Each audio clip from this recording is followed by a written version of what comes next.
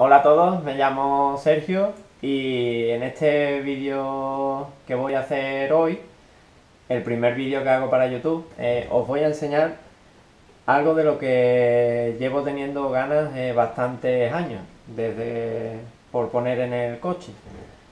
Eh, he comprado una pantalla 2D, ¿vale? Específica para Volkswagen y bueno, como os iba diciendo, es algo que llevo queriendo poner en el coche desde que tenemos el coche en casa, eso de unos 5 años aproximadamente. Eh, bueno, la he pedido por AliExpress, es una pantalla Android eh, con el sistema Android 8.0 y bueno, me ha llegado hoy, esta mañana, y vamos a hacer un pequeño unboxing antes de, de colocarla en el coche.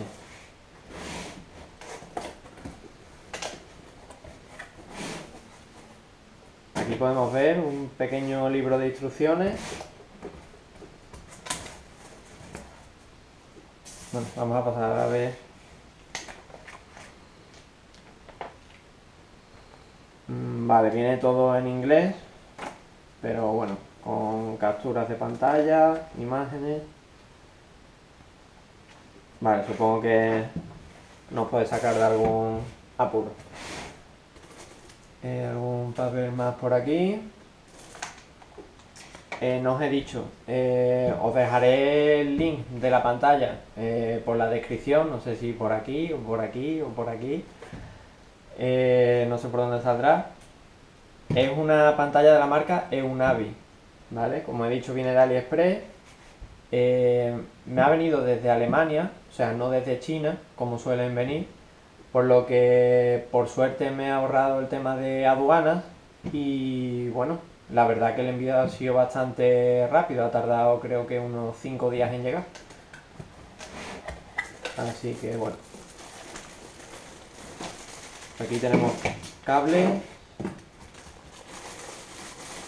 Ahora pasaré a enseñar todos los cables, más de ellos todavía. La antena GPS.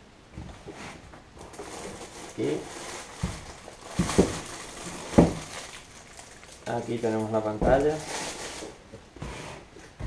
Ya no, no queda nada más.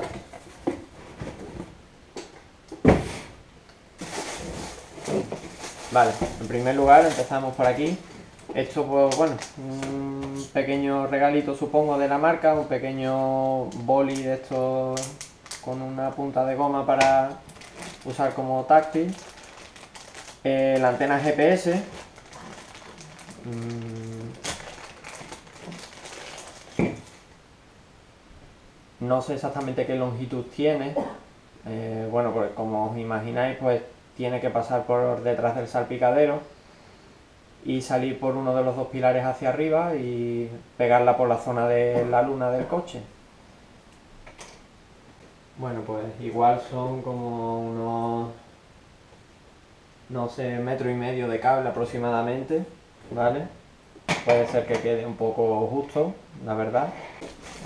Tenemos alargador USB, ¿vale? La, pantalla trae dos tomas USB.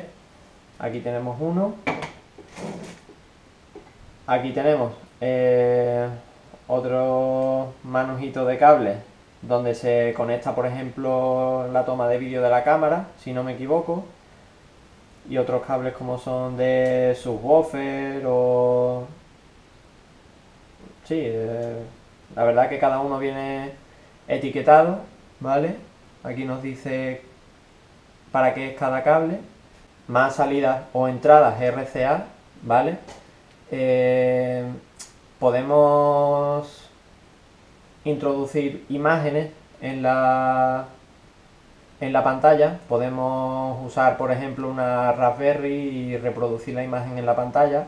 Y también podemos hacer que el vídeo de la pantalla se reproduzca en otras pantallas externas ¿vale?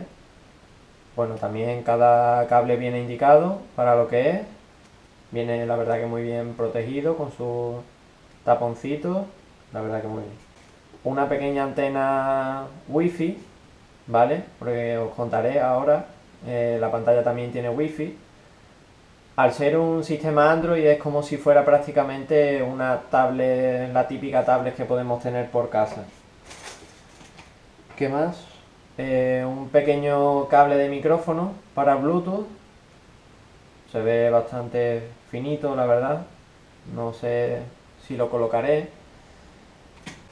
Esto fue, la verdad, una pequeña sorpresa que me llevé. Porque cuando compré la pantalla, no pensé que llevara cámara de marcha atrás. No sabía que venía.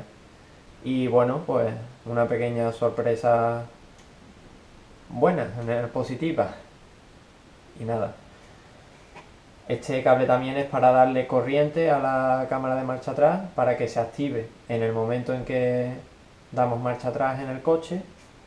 La gente lo suele conectar a, a una de las bombillas de marcha atrás, ¿vale? De los pilotos traseros. Esto por aquí por otro lado. Y por aquí, pues, vale, este supongo que también es el cable de cámara de marcha atrás este se ve que trae bastante más longitud porque claro, como sabéis, hay que conectar eh, la cámara.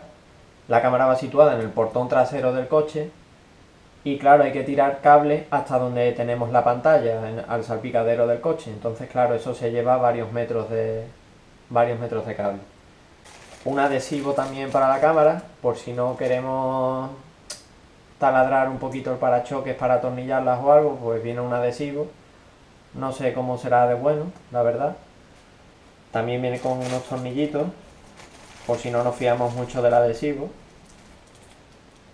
Y bueno, esto básicamente es todo lo que viene. Aquí tenéis la pantalla, ¿vale? Os voy a comentar un poquito más de ella. Eh, espero que se vea bien, la verdad.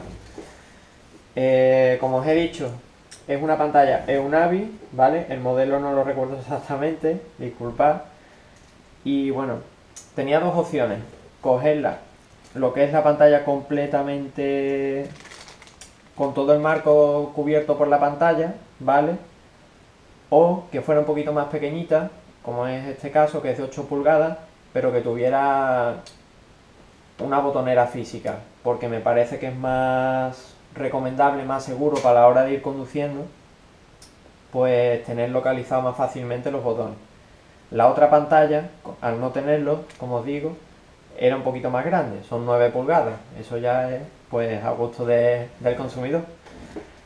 Y nada, os comento, eh, viene con un procesador de 8 núcleos, ¿vale? Viene con 4 GB de memoria RAM y sistema Android 8.0, como os he dicho. Viene con distintas funciones, viene con GPS, eh, viene con Bluetooth, viene con Wi-Fi y bastantes cosas más que ahora mismo no recuerdo todas. Eh, lo bueno que tiene, una cosa que me gusta bastante, es que podemos comprar un aparatito, un OBD2, eh, que nos sirve para conectarlo en el coche y mediante Bluetooth lo sincronizamos con la pantalla y tenemos más que un ordenador de a bordo en el coche. Más que un ordenador me refiero a que no es el típico ordenador de a bordo que te viene en los coches del día a día. Te dice bastantes más parámetros. Entonces, bueno, a la gente que le interese eso, pues la verdad que es una ventaja. Yo lo compraré, lo probaré y os diré qué tal. Eh, tengo pensado hacer lo mismo que os estoy enseñando ahora mismo en la pantalla, tengo pensado hacer también un vídeo montaje en el coche. Eh, se va a montar en una Volkswagen Caddy, ¿vale? Eh, he visto que hay bastantes vídeos por ahí por YouTube, pero suelen ser todos Volkswagen Golf o Passat. Y bueno, aquí vamos a cambiar un poco. Se va a montar en una Volkswagen Caddy. Y bueno, eh, al fin y al cabo esta es la pantalla, tiene una ranura para, para SD, perdón, donde metemos todos los archivos multimedia, como música, vídeo, cualquier cosa. Y esta de aquí es otra, otra ranura SD, pero para cargar los mapas del GPS, ¿vale? Luego tenemos botón de encendido apagado, de inicio, para ir hacia atrás, para activar GPS eh, coger la llamada, colgar, eh, volumen, si pulsamos tenemos para quitar el sonido, Y esta ruletita me parece que es para pasar de, canción hacia adelante, hacia detrás, eh, para meter el disco, ¿vale? Y bueno, por detrás os enseño un poco. Aquí tenemos el, digamos, el mazo de cables principal, el del coche, ¿vale? Esta es la toma de antena de radio que os decía, ¿vale? Como yo, por ejemplo, nunca la he visto, siempre he visto el típico macho, el cilindrito que se conecta y ya está. Estas vienen como dos tomas, también macho, pero bueno, nunca la había visto. Eh, cada conector, pues como podemos ver aquí, cada conector tiene una forma específica, ¿vale? No hay dos conectores iguales. Entonces, podéis pensar que es muy difícil conectarlo todo, pero no. Como cada conector tiene su forma, eh, no, hay, no hay posibilidad de error. Aquí tenemos la antena de wifi, ¿vale? Que todavía la verdad que no ni siquiera he probado esto, ¿vale? La conectaríamos así, atornillaríamos. ¿Vale? Y por este lado, lo mismo, tenemos la toma de antena GPS, ¿de acuerdo? Dos USB, ¿vale? Y poquito más que comentaros de, de ella. La verdad que esta conexión no sé cuál es ahora mismo. Aquí vemos como un fusible de protección.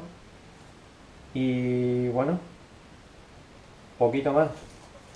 También tenemos aquí una pegatina que nos avisa de que antes de montarla estos dos tornillos los tenemos que quitar porque es como para como para liberar el lector de CD, ¿vale? De Compact Y bueno, por lo demás eh, ya está. Os voy a dejar link de donde he comprado la, la pantalla con el modelo y tal. Dejar claro que a mí nadie me paga por esto, yo mm, he pagado como cualquiera de otra persona que se animara a comprarla. Tiene buena pinta, la verdad, todavía no la he probado y espero hacerlo bastante pronto. Y bueno, mm, tengo pensado, como ya os he dicho, eh, montar, hacer un vídeo con el montaje de la pantalla y quizás hacer otro vídeo del montaje de lo que es la cámara, la instalación de la cámara de marcha atrás porque no lo voy a hacer en el momento de montar la pantalla, por cuestiones de tiempo simplemente.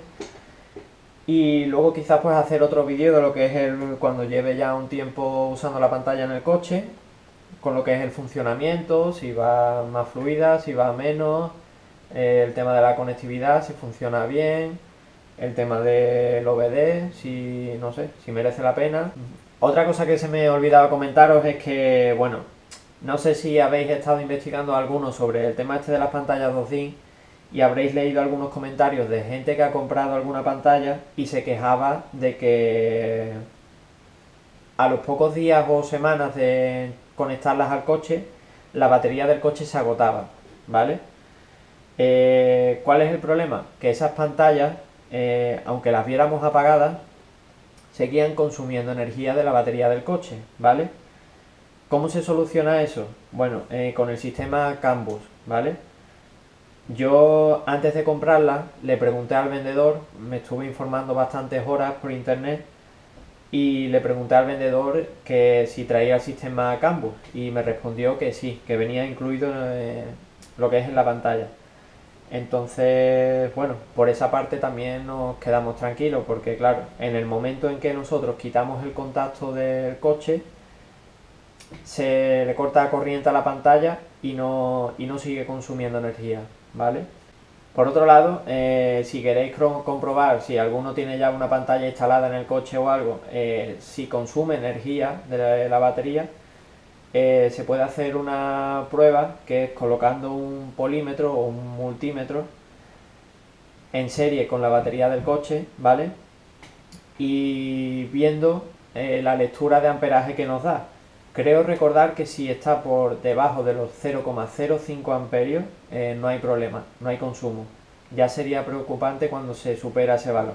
Pero bueno, detallaremos eso en otro vídeo que haremos. Y mm, espero que os haya gustado. Nada, es mi primer vídeo que subo a YouTube. La verdad que no sé cómo me he decidido a ello. Y nada, nos vemos en otra, ¿vale? Hasta la próxima.